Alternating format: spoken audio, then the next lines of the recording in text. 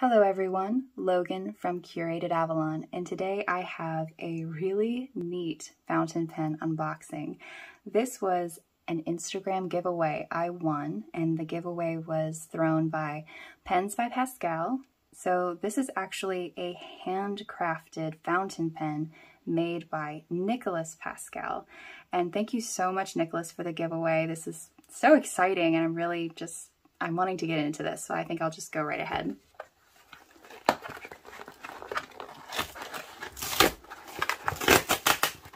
Oh wow, it's just like right there.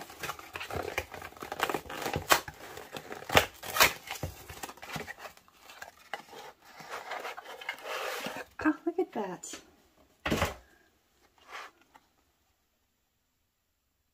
Okay, so I love the packaging. I like being able to like see it when you open it. That's so cool. And he did say there would be a ink sample of his choice. And it looks blue. I'm not sure what that ink is. I'll have to look it up, but very cool. The pen, I'm just kind of over here flipping out, is absolutely stunning. Like the photos and video that he sent to me of this absolutely do not do this justice. This is fantastic. I love red, white, and blue. Uh, if I'm not doing like metals with black and silver, uh, red, white, and blue is really my jam. As a matter of fact, as a teenager, there was like this entire maybe five year period where I just like wore red, white, and blue clothes like all the time. Now it's mostly black, but then it was red, white, and blue. That is just so gorgeous. And this is a number six steel Bock nib and he said that his nibs are actually tuned by Kirk Speer from Pen Realm. Oh, threads work really well. He did say that these were 13 millimeter, uh, 13 millimeter threads. They go on and off really well. Wow. This is just so gorgeous. It reminds me in the best way possible of a push pop I loved it. The cherry was my favorite. Oh my golly, so many push pops. You know, you eat them until it's like pointy, like the end of a spear, and then you really try not to stab people with it. but wow, that is absolutely gorgeous. So I will go ahead and ink this up. I'll check out, let's see. This is Pasquale's card. And there is a note. I'm just going to read it off camera real quick. Okay, so the note says that the ink is Ama-iro. I don't know how to correctly pronounce that. I'm going to go with Ama-iro from Pilot.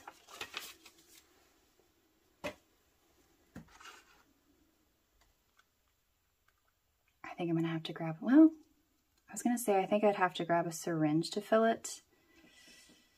Let's, it, it doesn't look, oh my goodness, it does fit. Let's see if I can get any in the pen without having a complete disaster. Do I even have it? Yeah, I do. Okay. The courage. Ooh.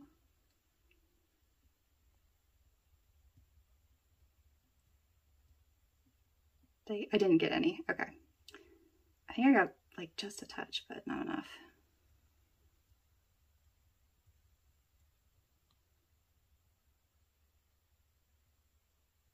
Go for it one more time.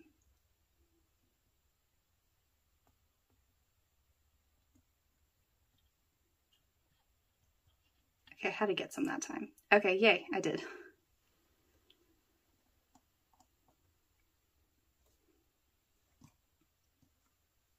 Not sure which to do first, cap it or cap this. All right, I do have a paper towel.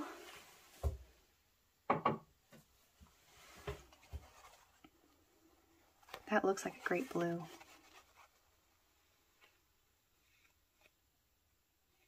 Cool. All right, I'm just gonna cap this while I cap this because I don't need any kind of a disaster.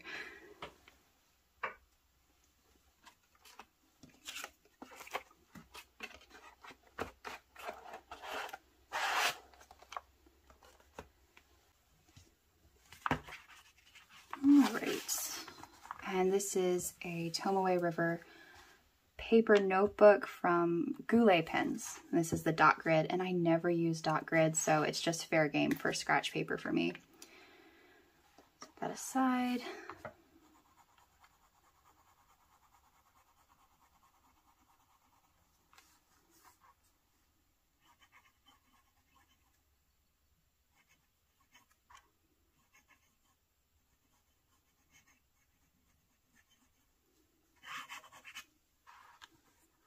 This is his Cerberus pen, which I think that is such a cool name. If you're not familiar, I believe that is the three-headed dog from mythology. This is a straight body type, flat cap and back.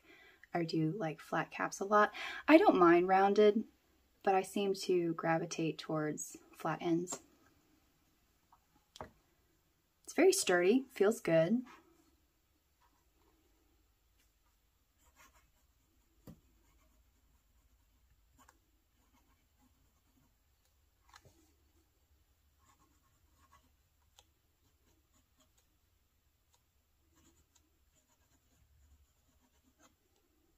This is a medium nib. And it is tuned by Kirk Speer from Pen Realm.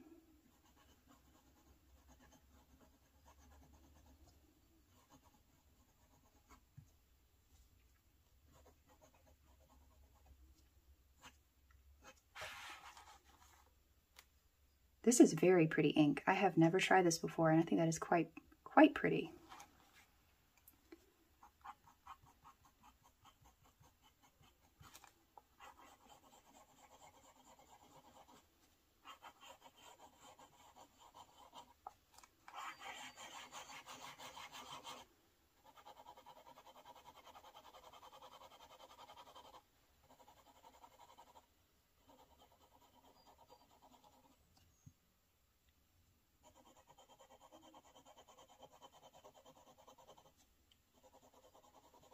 The nib is really nicely tuned.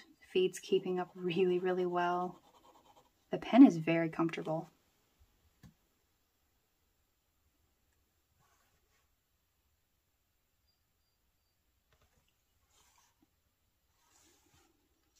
Oh yes, and of course the ink. Let me see, where did I put that? The ink is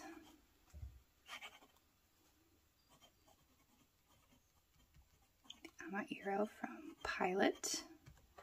As I said, I am probably butchering the pronunciation on that. My sister is constantly correcting me, uh, especially on Asian pronunciation of names.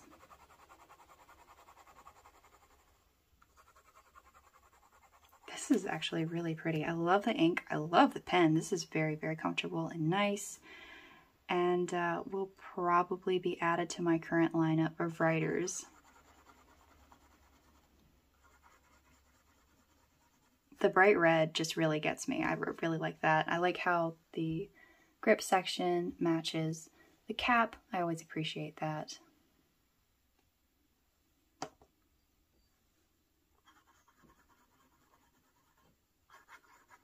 Very, very comfortable.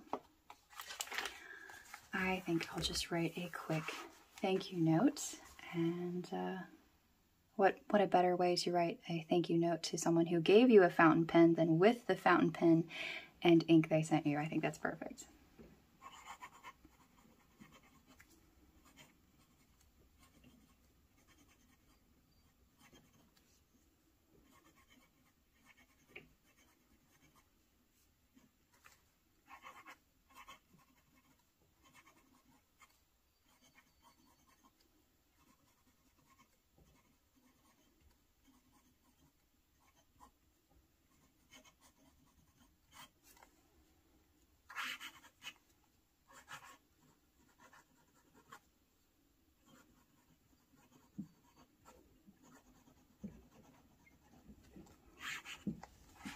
All right, so thank you so much, Nicholas. I absolutely love the pen and I will indeed use it often.